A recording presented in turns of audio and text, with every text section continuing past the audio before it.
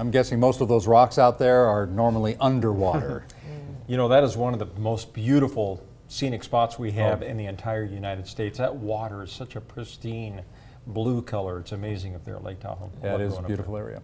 Yeah.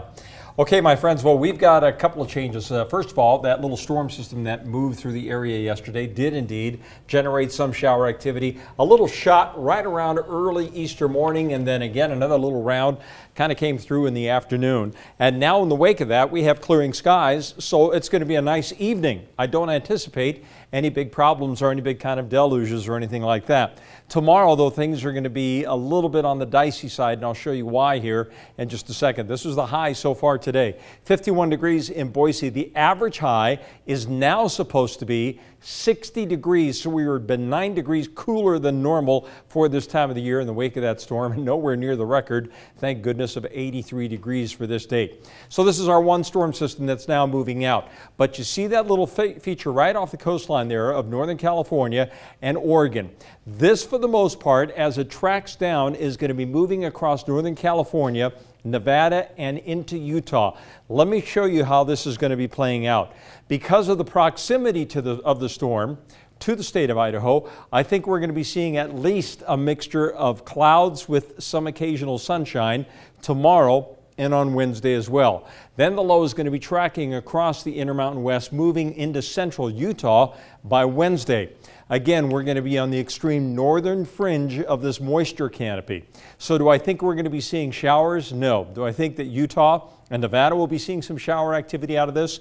Absolutely. So it's going to be beneficial for Northern California and for this area of the Intermountain West. But because, again, of that proximity, I think that there's at least a slight chance of some, of some occasional showers in the forecast for us tomorrow. And then again also on Wednesday. So here's the future cast. Tomorrow morning, bright and early, there's the low starting to form down to the southwest of us.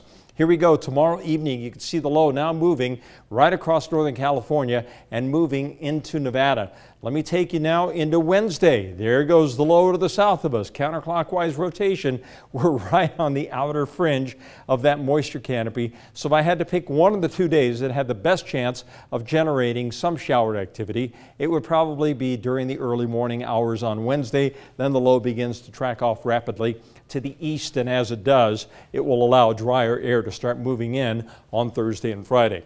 So the 70 outlook then for the Treasure Valley. It's going to be close, but no cigar. We'll be seeing a mixture of clouds and sunshine tomorrow. Probably mostly cloudy skies on Wednesday. Again, a slight chance of some showers tomorrow, a slight chance on Wednesday. And then on Thursday, we'll get clearing skies. Friday looks beautiful with another storm expected to move in late Saturday and Sunday. We'll see how strong that's going to be in the days to come.